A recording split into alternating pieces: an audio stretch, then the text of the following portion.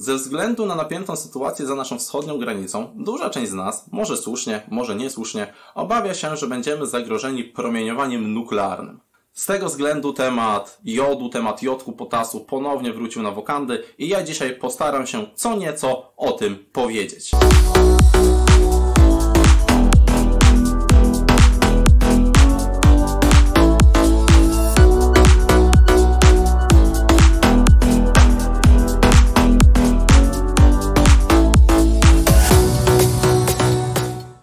Takie wrażenie, jakby w opinii publicznej panowało przeświadczenie, że jodek potasu może nas uchronić przed wszelkimi zagrożeniami związanymi z katastrofą nuklearną, a mało kto tak właściwie tłumaczy, o co w tym wszystkim chodzi i jakby ten jodek potasu mógł nam w ogóle pomóc. Zapomina się o tym, że jodek potasu nie jest wcale żadną magiczną substancją, która uchroni nas przed chorobą popromienną. Jodek potasu co najwyżej może uchronić naszą tarczycę od negatywnych skutków promieniowania. A może się tak zadziać dlatego, że nasza tarczyca potrzebuje jodu, aby produkować hormony. W sytuacji, w której będziemy cierpieli z powodu niedoboru jodu, a będziemy narażeni na działanie jodu promieniotwórczego, wtedy te napromieniowane cząsteczki jodu, tak to uprośmy, tak to nazwijmy, będą powodowały negatywne konsekwencje w działaniu naszej tarczycy, narażając ją na różnego rodzaju choroby zapalne, czy nawet na nowotwór tarczycy. Ale jak już widzisz, sytuacja ta będzie miała miejsce tylko i wyłącznie wtedy, kiedy będziemy cierpieli z powodu niedoboru jodu, a prawda jest taka, że tak właściwie mało kto ma z tym problem.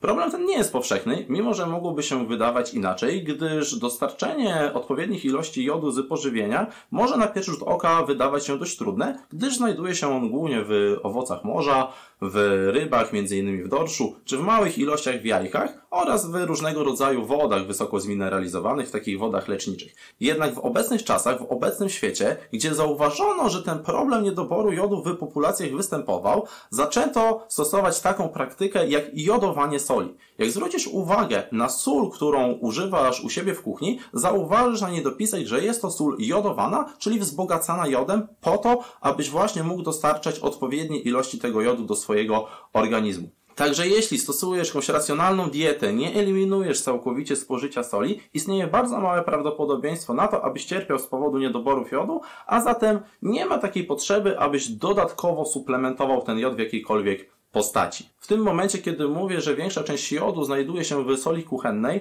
warto mieć na uwadze to, że ten jod w soli kuchennej jest taki dość niestabilny. W momencie, w którym będziemy na przykład tą sól podgrzewali, czyli będziemy wsypywali ją do gotującej się wody, duża część jodu ulegnie degradacji. W sytuacji, w której będziemy trzymali sól w solnicze przez bardzo długi okres czasu, gdzie będzie ona trzymana na świetle i w stosunkowo wysokiej temperaturze, również dojdzie do tego, że duża część jodu zostanie zdegradowana i wtedy taka sól już będzie miała troszkę mniejszą jego zawartość, więc na to warto zwrócić uwagę. Mówiąc o jodzie w kontekście diety i w kontekście odżywiania, duża część osób jeszcze mogłaby powiedzieć, że trzeba zwrócić uwagę na to, aby jod odpowiednio się wchłaniał. Że nie należy łączyć produktów z dużą zawartością jodu z innymi produktami, które wchłanianie tego jodu obniżają. Takimi produktami są między innymi warzywa krzyżowe, czyli kalafior, kapusta, brokuł i tak dalej. Faktycznie, te warzywa, warzywa krzyżowe ograniczają wchłanianie jodu, ale tylko i wyłącznie wtedy, kiedy spożywamy takie warzywa na surowo.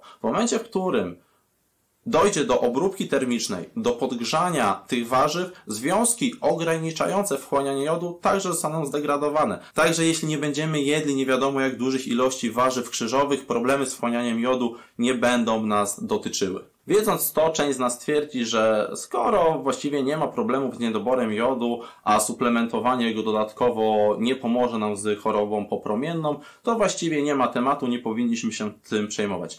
Ale z drugiej strony pojawią się osoby, pojawi się grupa osób, która stwierdzi, no dobra, ale my tak właściwie nigdy nie wiemy, czy mamy ten niedobór jodu, czy go nie mamy, więc na wszelki wypadek cały czas będę starał się tego jodu jeść jak najwięcej, suplementować ten jod w postaci jodku, potasu, czy chociażby płynu Lugola, żeby mieć 100% pewności, e, że tego niedoboru nie będzie. No i to logiczne pod pewnym względem jest, ale jest troszkę niebezpieczne, gdyż jod jest nam niezbędny do prawidłowego funkcjonowania, ale z drugiej strony może powodować negatywne konsekwencje. W sytuacji, w której będzie dochodziło do nadmiernego spożycia jodu, nasza tarczyca również może zostać rozregulowana, również może nieprawidłowo funkcjonować. Jeśli będziemy mieli zbyt wysoką zawartość jodu w naszym organizmie, wtedy istnieje ryzyko powstawania nadczynności tarczycy, a także nowotworów tej tarczycy, więc z jodem temat jest dość skomplikowany. I za mało jodu źle, i za dużo jodu też źle. Te wszystkie historie związane z tym, że picie płynu Lugola w dużych ilościach, który tak de facto nie nadaje się nawet do spożycia, mówiące o tym, że przynosi to rewelacyjne korzyści zdrowotne, są to tak de facto tylko historie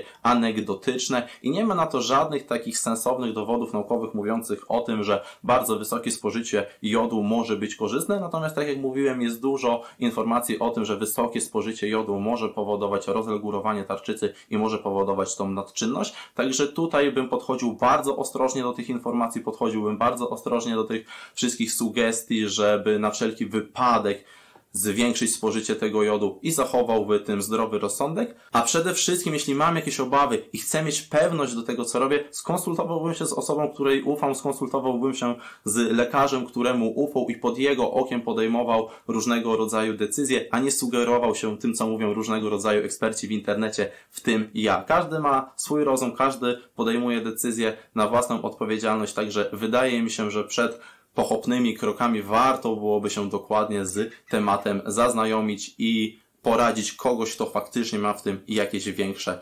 doświadczenie. Działanie teraz pod wpływem emocji ze względu na napiętą sytuację za naszą wschodnią granicą może nie być optymalne. Także teraz podsumowując to wszystko, co powiedziałem, chciałbym nieco Ciebie uspokoić. Najprawdopodobniej nie masz problemu z niedoborem jodu. Najprawdopodobniej dodatkowe suplementowanie się jodkiem potasu czy płynem Lugola nie będzie dla Ciebie konieczne. Najprawdopodobniej, jeśli faktycznie będzie jakieś zagrożenie, to wtedy się o tym dowiesz, odpowiednie służby Ciebie o tym poinformują i wtedy możliwe, że w jakichś konkretnych sytuacjach stosowanie tego dodatkowego wsparcia w postaci jodku, potasu będzie sensowne, ale na wyrost, na zapas, suplementowanie się tego typu substancjami właściwie w wielu przypadkach nie jest potrzebne. No dobrze, mam nadzieję, że powiedziałem co nieco. Mam nadzieję, że ten film nie był zbyt chaotyczny, że coś z niego wyciągniesz, że udało mi się Ciebie troszkę uspokoić.